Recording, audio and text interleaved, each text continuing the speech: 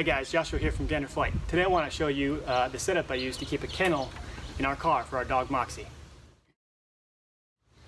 So what I did here is uh, I've got some PVC that was cut to various lengths um, and made a, made a frame to fit our specific car. We have a 2013 Honda Odyssey um, and fortunately, unfortunately, when the seats are folded down, the floor is not flat.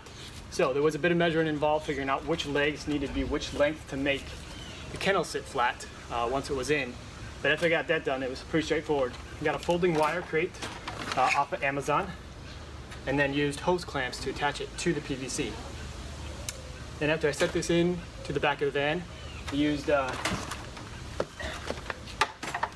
some ratchet straps and cam buckles to go under the folded seat down through that well and attached at the front and back to keep it stationary so it doesn't move around.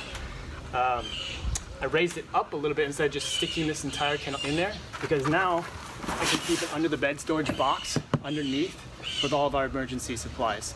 Uh, jumper cables, tow strap, extra clothes, snacks, things like that can store underneath the kennel and I leave this in the van full time.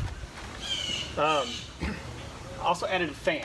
This is the Endless Breeze 12 volt um, and in the back of our van there's a 12 volt plug. So when the van is on, stick this into the, into the, the auxiliary 12 volt plug and turn the fan on and it blows air right through. Um, she really enjoys it. When the van is off, what I can do is, we've got this jump pack that, that we used um, as an emergency backup in case the battery on the van dies. Uh, but what I did was created a, a harness specifically to take that jump pack, which usually has the positive and negative clamps, and turn it into 12 volt power outlet. I got a hold of the manufacturer and made sure that this was okay to do before I did it. Uh, and they showed me that it, it was. So I stick this in here and then plug it in. And now I can run it off this uh, auxiliary battery. Pretty cool setup and it allows a lot of flexibility in what we're doing. The other thing I really like about this setup is that um, when the kennel is up, which I can do it, uh, flip it up and down while it's in the car, um,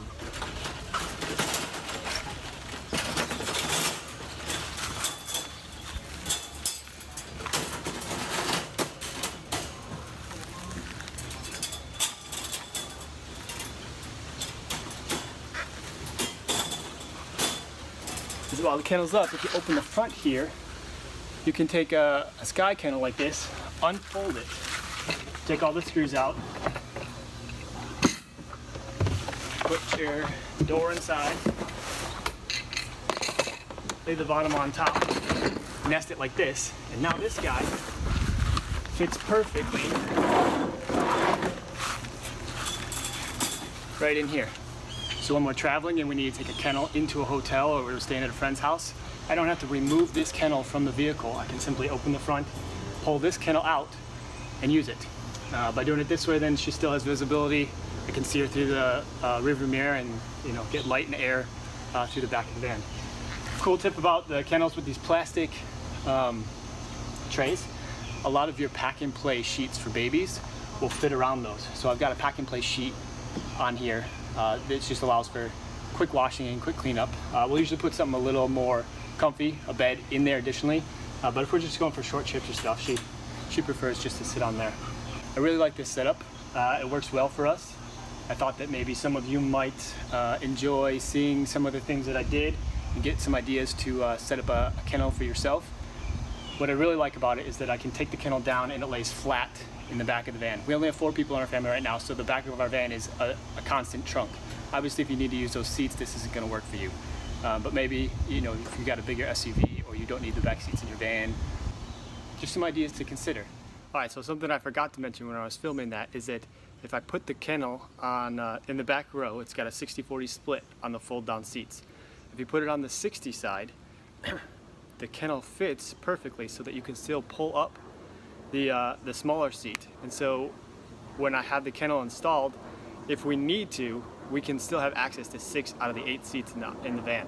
Um, and it's awesome. So when my parents come to visit, we, uh, we can get that back seat up and still have uh, room to store things on top of the folded down kennel and get that, that extra seat. Uh, it works out, works out really well. So put it on the 60% side of that, that rear split seat and you can still access the smaller seat. As you probably noticed, the video was shot with the kennel not installed in the van. Unfortunately, before I could get this video filmed, the van was in an accident and totaled. So I'm going to show you a few pictures here of the installed and in action.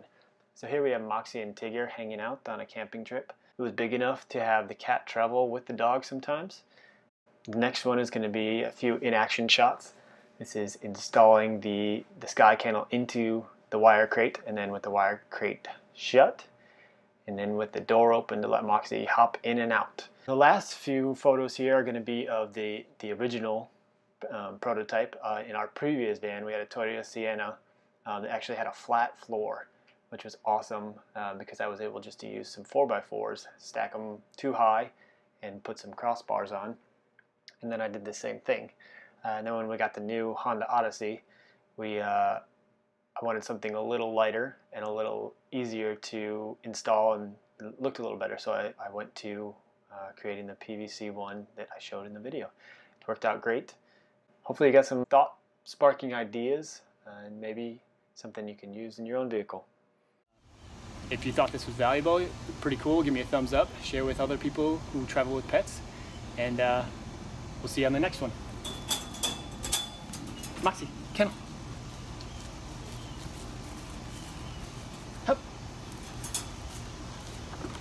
Good girl. Good girl. Take care.